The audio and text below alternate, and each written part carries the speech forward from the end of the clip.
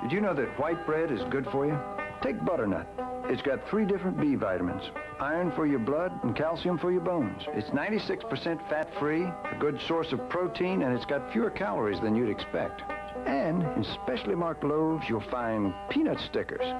You can put them on books or use them for looks. You can stick them on your lunch sack or wear them on your backpacks. Peanut stickers. Yeah! There are 12 to collect. Peanut stickers, one in each loaf.